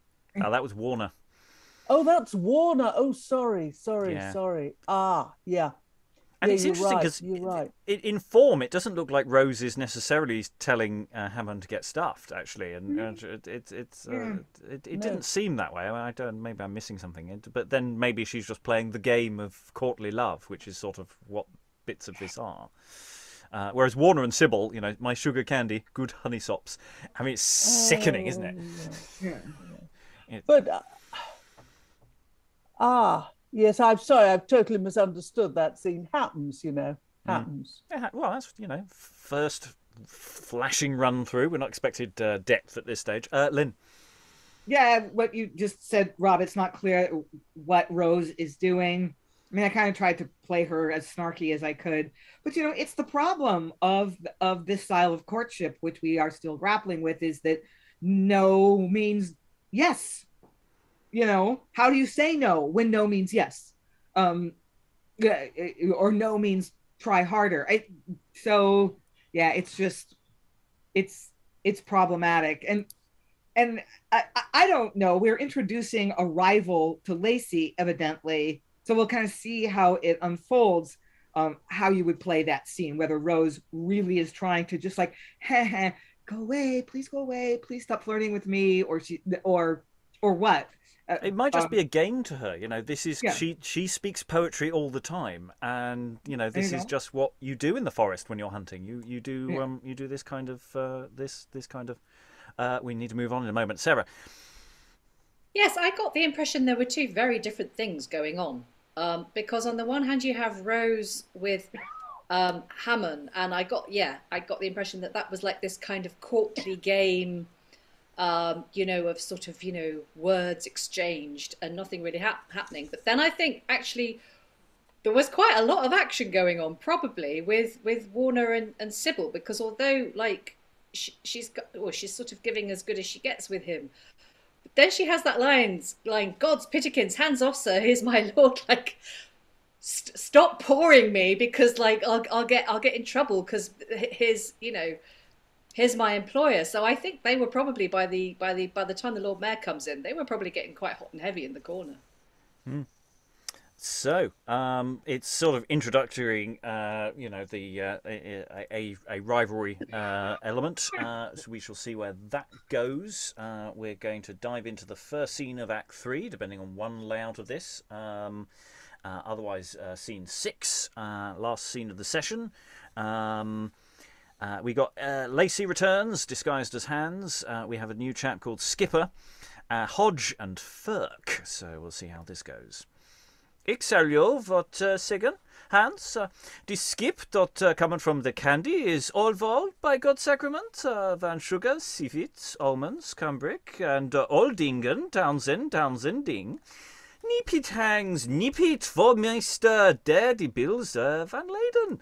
Your me- meester Simon Eyre shall hae good kopen. Uh, what zeggen jou, Hans? Wat zeggen de regen, de kopen, slopen? Laugh, Hodge, laugh! Meine lieber Bruder Fig, bring de meester Eyre tot de signe van Svaneken. Der zal jou find the skipper and me. Wat zeggen jou, Brother Fig? Do it, Hodge. Come, skipper. And exit uh, probably Lacy and the skipper. Bring him, quoth you. Here's no knavery, to bring my master to buy a ship worth the lading of two or three hundred thousand pounds. Alas, that's nothing. A trifle. A bauble. Hodge. The truth is, Firk, that the merchant owner of the ship dares not show his head, and therefore this skipper that deals for him, for the love he bears to Hans, offers my master Eyre a bargain in the commodities. He shall have a reasonable day of payment. He may sell the wares by that time and be a huge gainer himself. Yea. But can my fellow Hans lend my master twenty porpentines as an earnest penny? Portuguese, thou wouldst say, here they be for hark. They jingle in my pocket like like Saint Mary Overy's bells. Enter Eyre and Margery. Mum, here comes my dame and my master. She'll scold on my life for loitering this Monday. But all's one. Let them all say what they can. Monday's our holiday. You sing, Sir Sauce, but I beshrew your heart, I fear. For this your singing we shall smart. Smart for me, dame. Why, dame, why? Master, I hope you'll not suffer my dame to take down your journeyman. If she take me down, I'll take her up. Yay, and take her down too, a buttonhole lower. Peace, Firk. Not I, Hodge, by the life of Pharaoh, by the Lord of Ludgate, by this beard, every hair whereof I value at a king's ransom, she shall not meddle with you. Peace, your bombast cotton candle queen. Away, queen of clubs. Quarrel not with me and my men, with me and my fine Firk. I'll ah, feck you if you do. Yea, yea, man, you may use me as you please. But let that pass. Let it pass. Let it vanish away. Peace. Am I not Simon Eyre? Are these not my brave men? Brave shoemakers, all gentlemen of the gentle craft? Prince am I none? Yet am I nobly born, as being the sole son of a shoemaker? Ah, away, rubbish. Vanish. Melt. Melt like kitchen stuff. Yea, yea, tis well I must be called rubbish, kitchen stuff for a sort of knave. Nay, madame, you shall not weep and wail in woe for me. Master, I'll stay no longer. Here's an inventory of my shop tools. Adieu, master. Hodge, farewell. Nay, stay, for thou shalt not go alone. I pray let them go. There be more maids than Malkin, more men than Hodge, and more fools than Firk. Fools, nails. If I tarry now, I would my guts might be turned to shoe thread. And if I stay, I pray God I may be turned to a Turk and set in Finsbury for boys to shoot at. Come, Firk. Stay, my fellow fine knaves. You, you arms of my trade, you pillars of my profession. What shall a tittle tattle's words make you forsake Simon Eyre? Avaunt kitchen stuff. Rip your brown bread tannikin out of my sight. Move me not. Have I not ta'en you from selling tripes in Eastcheap and set you in my shop and made you hail fellow with Simon Eyre the shoemaker? And now do you deal thus with the, my journeyman? Look, you powder beef queen, on the face of Hodge. Here's a face for a lord. And here's a face for any lady in Christendom. Rip, you chickling. Avant boy, bid the tapster of the boar's head, give me a dozen cans of beer for my journeyman. A dozen cans. Oh, brave. Hodge, now I'll stay. And the knave feels any more than two, he pays for them. A dozen cans of beer for my journeyman. Here you, mad Mesopotamians, wash your livers with this liquor. Where be the odd ten? Uh, no more, Madge, no more. Well said. Drink and to work. What work dost thou, Hodge? What work? I am making a pair of shoes for my Lord Mayor's daughter, Mistress Rose. And I a pair of shoes for Sybil, my lord's maid. I deal with her. Sybil? Fie! Defile not thy fine workmanly fingers with the feet of kitchen stuff and basting ladies, ladies of the court, fine ladies. My lads, commit their feet to our power link. Put gross work to Hans. Yark and seam, yark and seam. For yarking and seaming, let me alone, and I come taught. Well, master, all this is from the bias. Do you remember the ship my fellow Hans told you of? The skipper and he are both drinking at the Swan. Here be the Portuguese to give him earnest. If you go through with it, you cannot choose but be a lord at least. Nay, dame, if my master prove not a lord, and you a lady, hang me.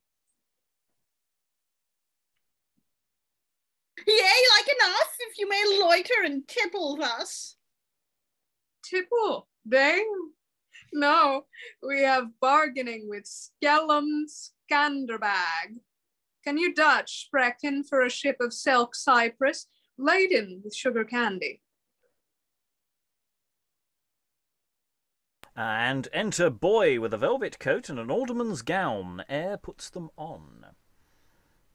Peace, Firk. Silence, tittle tattle. Hodge, I'll go through with it. Here's a seal ring, and I've sent for the guarded gown and a damask cassock. See where it comes. Look here, Maggie. Hey, help me, Firk. Power me, Hodge. Silk and satin, you mad Philistines. Silk and satin. My master will be as proud as a dog in a doublet, all in beaten damask and velvet. Softly, Firk, for rearing of the nap and wearing threadbare my garments. Hey, how dost thou like me, Firk? How uh, dost how do I look, my fine Hodge? Why now you look like yourself, master. I warrant you, there's few in the city, but will give you the wall and come upon you with the with the right worshipful. Nails. My master looks like a threadbare cloak, new turned and dressed. Lord, Lord, to see what good raiment doth. Dame, dame, are you not in a enamored? How sayest thou, Maggie? Am I not brisk? Am I not fine? Fine, by my troth, sweetheart, very fine. By my troth, I never liked thee so well in my life, sweetheart. Uh, but, but let that pass. I warrant there be many women in the city have not such handsome husbands, but only for their apparel. Uh, but let that pass too. And re enter Lacy disguised as Hans and Skipper.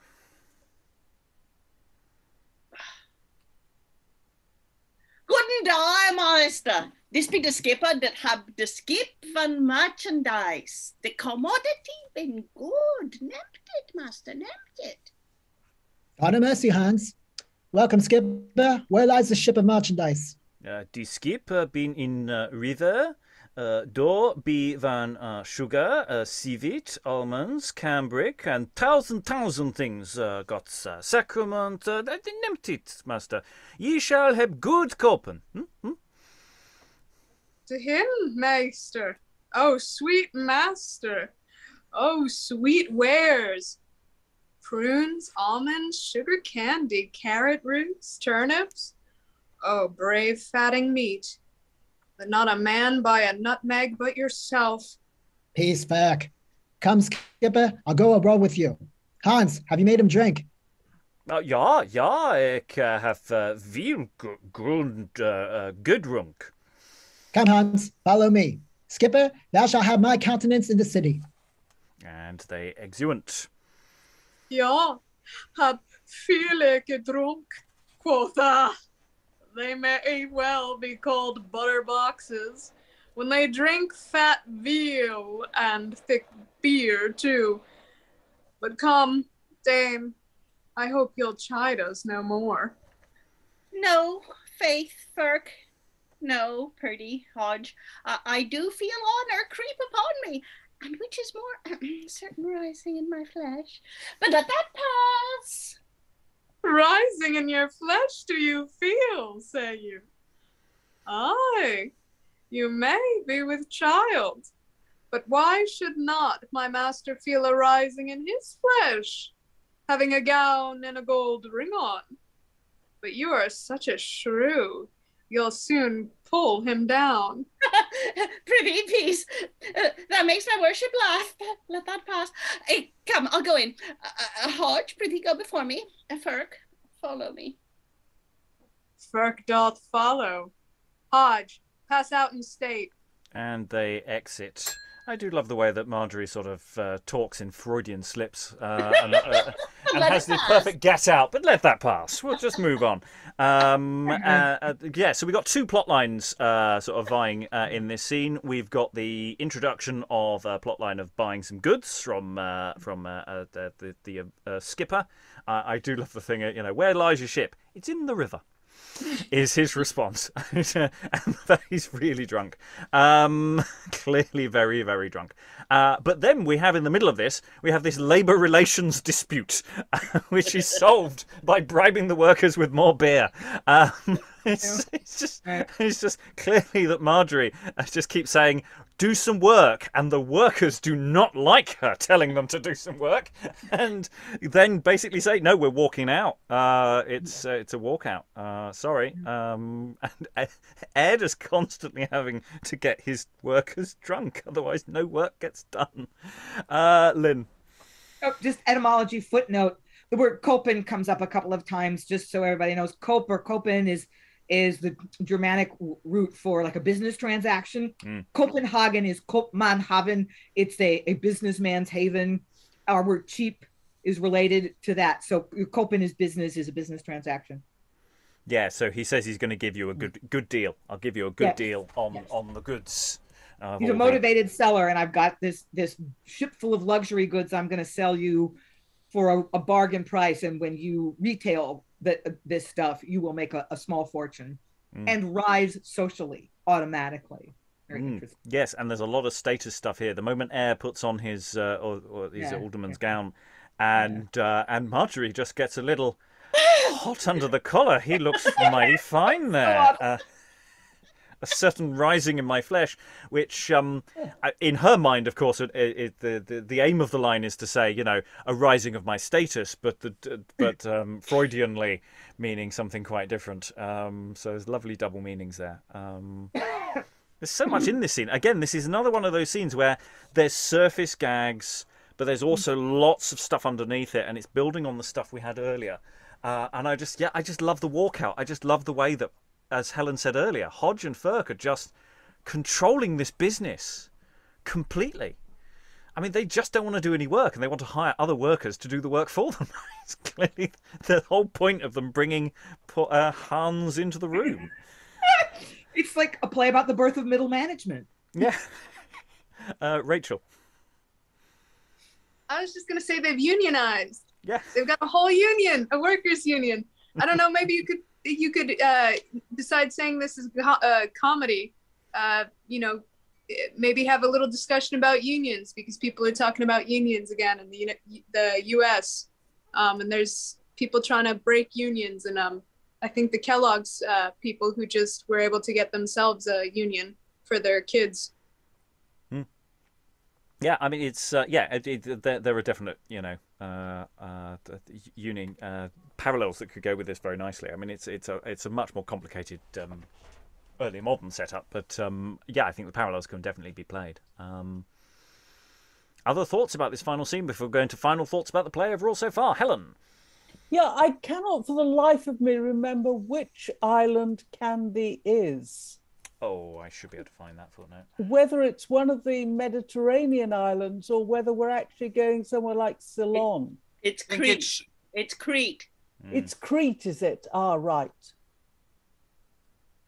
Right. Good. Uh, other thoughts about the scene uh, before we go into final thoughts? Sugar was um, worth its weight in maybe not gold, but close. But Hmm. yeah. Uh, Lynn? Yeah. Yeah, the American historian Robert Bucholz um, says that uh, it, it's a little later in this period, but sugar was the oil of its day. It was the dominant commodity. Um, I think that becomes true more when it starts to be cultivated in the New World, but um, and coffee and tea become uh, socially important. But yeah, sugar is on the rise as an, an extremely valuable commodity and kind of just sort of dominating the market. Uh, okay, we're going to go into final thoughts, go around the room. Um, I, I think the general uh, feeling, or certainly uh, what seems to be coming out the room, is that yes, this is a comedy. There's a lot of good stuff to play, um, but not to forget the weight that the you know that there is some reality behind this. Yes, it's comedic, so it's going to be slightly exaggerated, but uh, actually not running for those laughs seems to be where we're going. I mean, obviously in, in, in rehearsal and uh, in performance, maybe we'll be wrong, uh, but I get the impression we're we're mostly enjoying this. It's got enough weight to it, but it's also got enough comedy business. Um, yeah, uh, thinking about this for performance uh, across media uh, in our usual way. It, it, it, you know, it, it's a well-known play, and I think we we know why so far from session number one. Helen, any final thoughts? Uh, no, it's it's it really what you said. It's it's got it's got something for everyone. I I'm I'm slightly unimpressed by the hero and heroine. um, I mean, Rose hasn't demonstrated any particular, um, given us any reason to be rooting for her. And Lacy is obviously uh, good looking and dresses nicely, but you wouldn't really want to have any put any reliance on him. Yeah, it's it's like the the, the, the slight romantic subplot in uh, Muppets: A Christmas Carol when you know and you get to that song in the middle of the film and you just go, no, I'm not that interested. I'm not that fast. Get back to the the singing and the dancing and, and, and other things. This is not the parallel I was aiming for there. Um, uh, but yeah, I, I, I, think you're right. But there is a, sl- if anything, they're the most absurdist of the thing because they're written in such highfalutin fashion um, that actually they don't feel very real, uh, or at least they feel affected. There's something about the affectation of Rose, which is I think someone was talking about nouveau riche in the um, in the chat. You know, they're not they don't have that much depth uh, necessarily to, uh, uh to to them. So, uh, in, uh, but I could be wrong on that point. Dan, any final thoughts? Not many right now. Um, I'm enjoying the play. I, I, think this is a good intro to Dekker. Um, if you're not familiar with his work. I think that ca- the audience should be able to relate well to these to these characters. I think everyone can relate to the story of or the idea of social climbing mm. and class divisions and whatnot.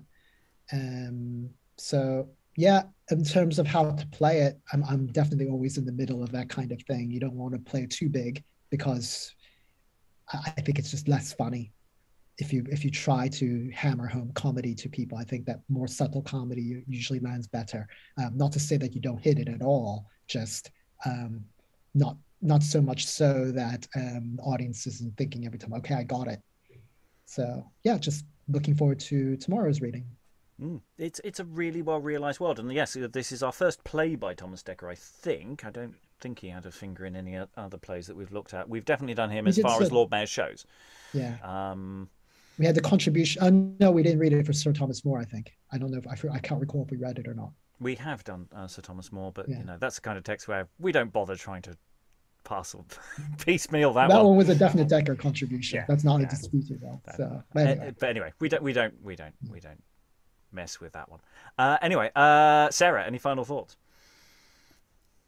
Well, it's interesting because I've been doing these readings now for nearly two years, and the two plays that I've kept hearing about throughout the last, you know, 23 months are The Knight of the Burning Pestle and The Shoemaker's Holiday.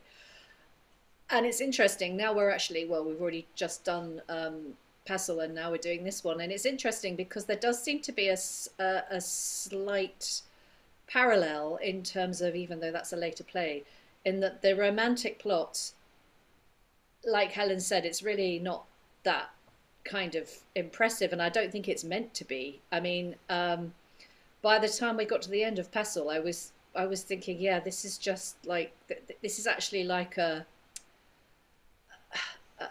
a, sort of ironic take, like a satire on on um, romantic comedy. And I'm wondering if, I mean, so far at least, this is looking like this a similar kind of thing. Like nobody cares really about the hero and heroine. They are sort of off in a corner, you know, running their little plots, uh, and and like where we're interested, where the interest lies, is is is in what's going on, uh, you know, with the shoemakers, um, and and I, I loved what Lynn said about is this going to be a play about the birth of middle management? I, I, think yeah, I think you could be right there, Lynn.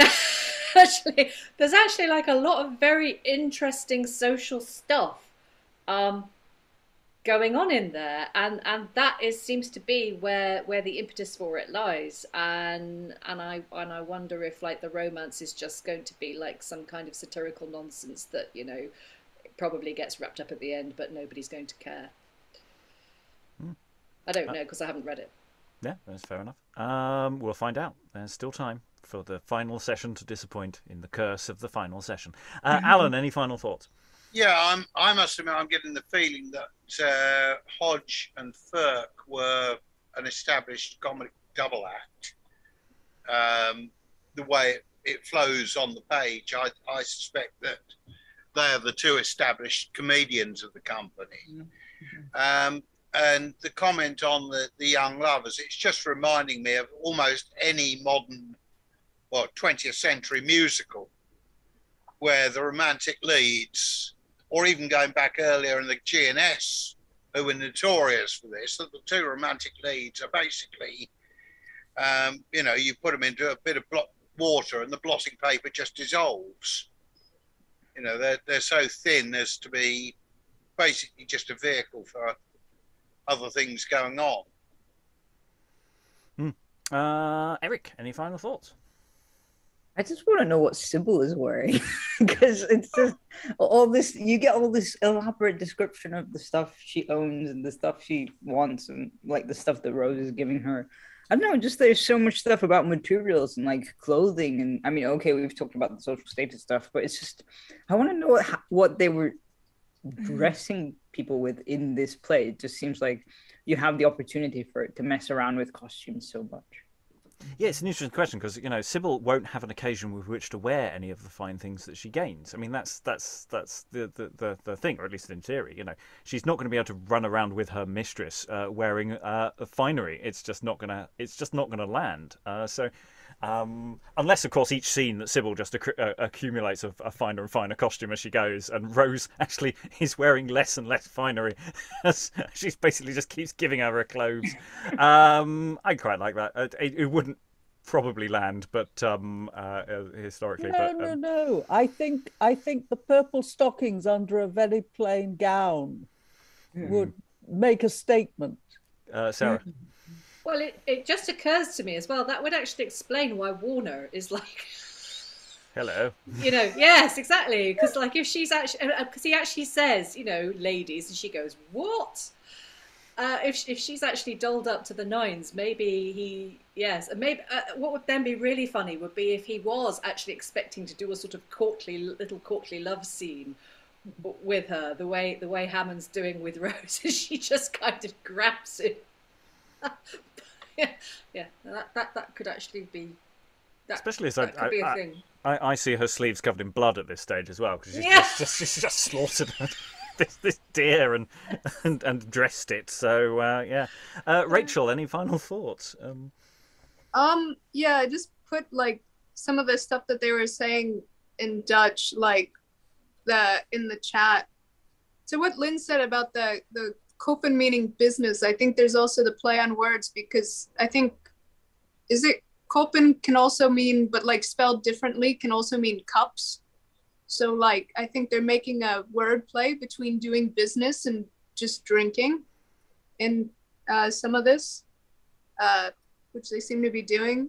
I really like the little comedy workshop band side of it and the yeah, I don't know. I'm I'm excited for tomorrow to go more into this, but there's so much I think you can play here and there's um such a realistic feel to some of this, like to to a lot of this. mm, there's a real world at play here, and that's that's nice. It's grounded. It's got a bit of grounding to it. Uh, Lynn, any final thoughts? yes, I, I like what you said about the, the the real worldness. That's I I'm really enjoying that glimpse into material culture, the clothing, all of the technical vocabulary that they use about shoemaking. I think that's all authentic about you know the the the kind of cord that they use to sew and and someone says something about a bone and yes uh, leather workers used a bone scraper to prepare leather like all that technical stuff i think is accurate Hmm. so that's really that's just interesting to me um Because the audience would the- tell them if they got it wrong. I, I, you know, I, I think we we'd be really clear. The kind of audience watching this would would Yeah, would go no. so yeah so all of that just i'm enjoying um and and yes what people have said about the the nominal um core romance between rose and Lacy uh, it's there as a nominal spine, but Rose is a little damp, and Lacy is maybe you could make him interesting, but mostly he's just an heir to a modest fortune and very good looking. So there you go. Um, but the play is so interested in economics, and that's fascinating to me about social mobility, about how people luck into money. Um, and these were actually areas of concern. They they were phenomena about which there was a, a fair amount of anxiety, from what I understand about the, the period and the the deftness with which um, Dex, uh, Dekker deals with those slightly touchy subjects uh, is is is impressing me. And uh, Aliki, any final thoughts? Yeah, uh, I'm really interested in the relationship between uh, Rose and Sybil and the ways in which it mirrors the relationship between Eyre's and Eyre and his workers. Again, we have uh, somebody who really controls the relationship in the subordinate role, and that will be a lot of fun to play with. Mm. Yeah, I see us pulling out the status games. Uh, someone get out a pack of cards. Uh, okay. Uh, that's uh, it from the room. Uh, we will return to the Shoemaker's Holiday. We'll have two more sessions uh, to thoroughly digest it. Uh, it's going well so far. Let's hope it doesn't go all down the pan later on. If you've enjoyed this session, then you can follow our work. we're all available on online. We're on YouTube. We're a podcast. you can support us by going to Patreon, patreon.com forward slash Beyond Shakespeare. You can buy us a coffee at ko-fi.com forward slash Beyond Shakespeare. And you can follow us on Twitter at Beyond Shakes uh, and uh, other uh, social media platforms as well, but we don't really put that much in that at the moment. Maybe in the future when you're seeing this, we'll have done a bit more on that. But uh, hey, what can you do? All that remains to thank all the wonderful readers for all their wonderful reading. Thank you very much, everyone, and goodbye. I'll go jiggy joggy to London.